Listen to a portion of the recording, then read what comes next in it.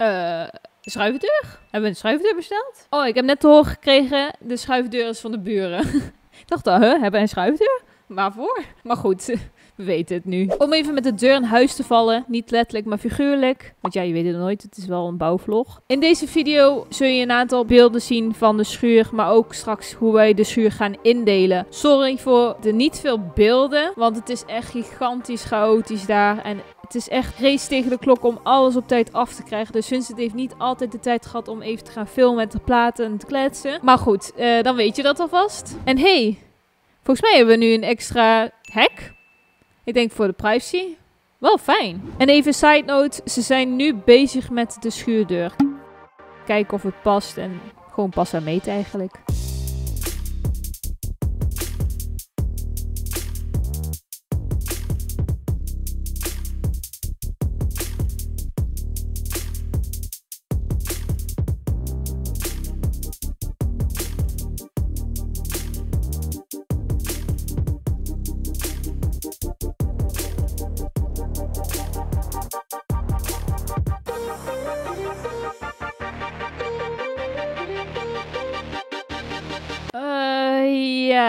Dit werkt niet. Ik, eh, ik zie niet zoveel.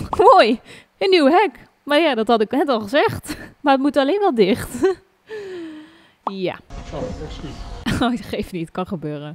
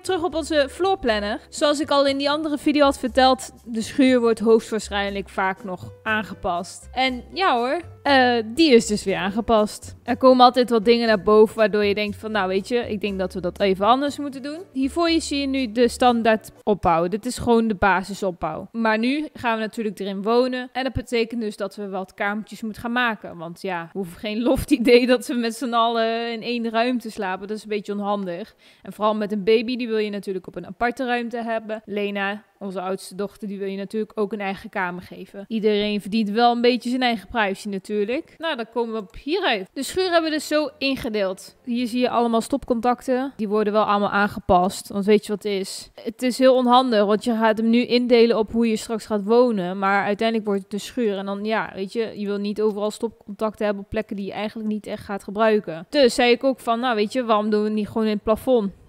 Toch? Dus dat wordt het ook. En dan scheelt het ook weer helemaal aanleggen. Want ja, het is gewoon alleen. Elektra loopt sowieso door het plafond. Of althans in het plafond. Althans, wij hebben dat hier ook thuis. Er zijn een aantal doen het via de grond. Maar, eh, of via de vloer. Wij doen het via het plafond.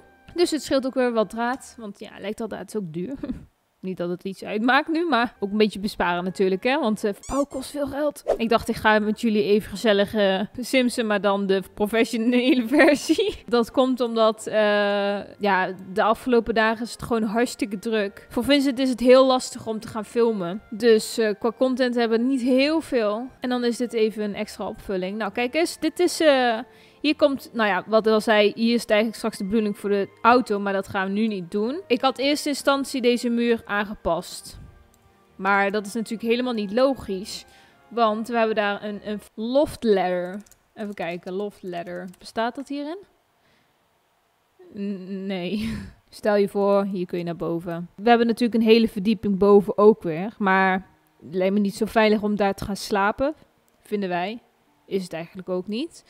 Eh, plus, het is, eh, het is wel geïsoleerd, maar we hebben daar geen airco of verwarming. De verwarming die we straks hebben is voornamelijk in het woongedeelte. En eh, niet op de zolder. De zolder kan in principe ook best nou, frisjes zijn, denk ik. Maar in ieder geval, dit is de indeling die we nu hebben bedacht. Ehm, wij zitten hier natuurlijk met ons tweepersoonsbed. Roosje in de kamer naast ons met een deur, zodat we geen deur hier hoeven. Zodat we meer ruimte hier hebben. Of meer mogelijkheden om spullen te plaatsen. En dan hebben we hier het kamertje van Lena. Ja, het is, het is, wel een beetje, ja, het is krap. Maar ja, aan de andere kant, als je zo bekijkt, het is toch best wel een grote schuur. Dus aan de andere kant, ja, we mogen ook met geluk spre- spreken dat we straks hier kunnen wonen. In plaats van bijvoorbeeld een tijdelijke unit of zo. Want daar hebben we ook naar gekeken. Maar ja, dat is gewoon is niet te doen. Er moet natuurlijk ook in geleefd worden. Dus ja, wat ik dacht, ja, weet je, even een beetje basic. De boel. En natuurlijk hier even een kastje met televisie. Want ik had nog over met Vincent van, zullen we wel de televisie doen of niet? Maar toen dacht van, nou weet je, we nemen gewoon de televisie die op onze slaapkamer zit. Die nemen we gewoon mee. En in de woonkamer, want die is veel te groot. Dat is een beetje onzinnig. Die kan volgens mij ook alleen maar opgehangen worden. Dus dat heeft sowieso geen zin. Die, die eh, laten we gewoon lekker in de doos. Maar vanwege ons werk en onze kanalen moeten we natuurlijk ook een bureau hebben met computers. Nou, we zaten eerst te denken om het misschien via laptop te doen. Maar ja, aan de andere kant, weet je, als je toch een bureau hebt, waarom zou je dan niet de computer doen? Ehm, nou, er zijn veel mogelijkheden. Je zou hier kunnen zitten, omgedraaid. Wacht, la- laat ik het even anders zeggen. Kijk, we zitten met twee personen met een computer. En omdat we ook wel eens opnemen, is het niet handig om in dezelfde ruimte te zitten. Kan wel, maar dan moeten we bij elkaar zitten. En dan wordt dan meteen in één keer heel erg... Ja, wordt gewoon een lompe plek. Dus moeten we dat verdelen. Aangezien ik vaker met de kinderen ben en ik ook af en toe tussendoor moet werken of iets in die richting, is het handig als ik gewoon in de woonkamer zit. En als Vincent echt aan het opnemen is of aan het streamen, dan kan die gewoon in een andere ruimte. En dat is dus de, de toilet, douche, bijkeukenruimte. Dit was eigenlijk de, onze indeling die we in gedachten hadden. We gaan even, even spelen. Even, even leuk doen, hè? Even leuk doen. Oh, dit staat ook op feesten. Ik kan beter woning doen. Dit is woonkamer.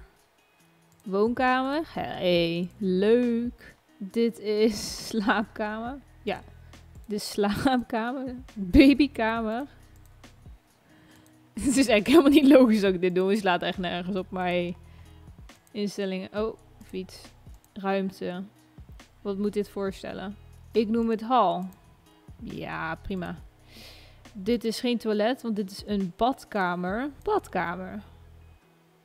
Oh, je kan meteen zien hoeveel oppervlakte meter het is. Oké, en dit is garage, want ik vind dit eigenlijk gewoon eerder een garage.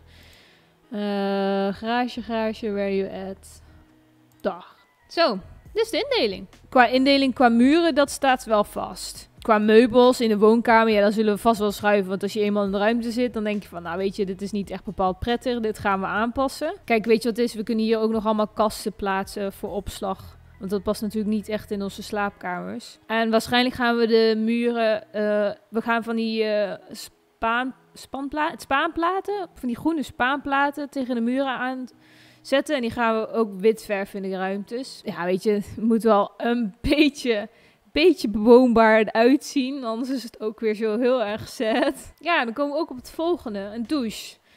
Dat was echt oh, een zoektocht van wat wil je nu? Kijk, wij hebben nu in onze oude woning hebben we betonsiree. Nou, betonsiree is best wel, weet je, dat is prijzig. Het is hartstikke mooi. Dat willen we ook echt heel graag in onze woning straks.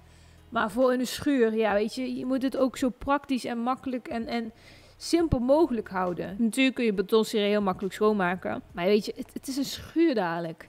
Er gaat toch geen betonsiree in de, in een schuur? nou ja, we hebben naar tegels lopen kijken. We dachten, nou weet je, we gaan gewoon simpel grijze tegels op de vloer doen. En op de wanden doen we gewoon van die witte standaard tegels. Ze zijn ook niet al te duur, is lekker makkelijk, is prima schoon te maken. Klaar. En toen was van, oké, en dan gaan we een douchecabine erin doen is dat uiteindelijk praktischer. Want dan hoef je in principe geen wanden te te- betegelen. Of, nou, dan komt het volgende. Stel, er komt vocht, gaat toch vast tussen die muren zitten. Dat wil je natuurlijk ook niet. Dus nou, we dachten, weet je, we gaan het wel gewoon betegelen. Het is gewoon makkelijker. Ja, wij zijn sowieso niet echt fan van een all-in-one douchecabine. Oh my god, er zijn echt heel veel douches. Hoe moeten we dat weten? Dat er zoveel... Hoe kon ik dat zien? Kan ik dit in instellingen doen? Nee. Oh, dat zijn vastobjecten. Ah, vandaar. Kijk eens. Ik heb het gevonden. Hey, handle door. Bestaat dat hierin? We hebben al een drain gekozen. En die drain gaan we ehm, tegen de muur aan doen. Wat wij nu hebben in onze nieuwe, wat in een oude woning, hebben we het zeg maar zo. Maar dan heb je altijd hier nog een stukje tegels. En om dat, hele idee te tackelen, kan je het ook gewoon tegen de muur doen. Dat zie je nu ook steeds vaker. Nou, dan wordt onze douche, die komt hier. En dan doen we een deur. ik, doe- ik doe maar even zo. Eh, we gaan voor een pendeldeur. Dus dat zeg maar dat die zo open kan. Ehm, zodat die ehm, zowel links als rechts gewoon opengeslagen kan worden. Dus zodat we hier gewoon wel een plek kunnen maken voor om je tanden te poetsen of iets in de richting. Of, of een zitstoel of waar je je spullen aan kan hangen. Als je meteen de deur zo doet, wilt openslaan, zeg maar op deze manier. Deze deur bijvoorbeeld. Ja, zit je altijd hier met een deur. En dan zit je hier met ja, een kast. Of de deur kan niet zeg maar ver genoeg open. Dus leek ons dit wel een goed idee. Goede oplossing, toch? En als het goed is gaan wij dit stukje niet tegelen. Ik denk dat we dat stukje gewoon eh, met dat verf doen. Eh, je hebt nu zeg maar van dat verf dat ook zeg maar water eh, afstotend is. En hier gaan we ook tegelen op de vloer en op de deel van de wand natuurlijk. Want dit hier stukje komt natuurlijk een, een soort van ehm nisje waar de douche, of, waar de toilet ehm, ja, ding in zit. Ja, dit is eigenlijk een beetje de hele indeling. We hebben ook naar zitten kijken om even anders de opname eh, gedeelte boven te doen. Want boven is eigenlijk ook best wel groot en hoog. Zoals je ook ziet op dit beeld. Het is wel, ja, weet je, je kan daar heel veel spullen doen. Maar ja, aan de andere kant, we hebben natuurlijk ook heel veel spullen van onze oude woning. Die we allemaal moeten opslaan. En die willen we het liefst ook allemaal gewoon in de schuur opslaan. Ah. Ja, dit wordt nog een dingetje. Sorry voor de matige video's van de afgelopen tijd, maar het is zo hectisch. Ik, volgens mij heb ik het net ook al verteld, maar het is nu voornamelijk echt keihard doorknokken, want anders gaan we het echt niet redden. Want over, nou, een kleine maand moeten we al het huis uit. Dus tijd om echt te filmen, ja, dat is niet altijd even makkelijk als Vis het helemaal alleen is. Kijk, als ik er straks bij ben, ja, dan kan ik dat wel voor hem oppakken. Gelukkig kan ik na de kerst ook weer gaan helpen komende week. Dat is wel heel prettig, want mijn ouders kunnen weer even op de kinderen passen. Dus dat is ook heel fijn.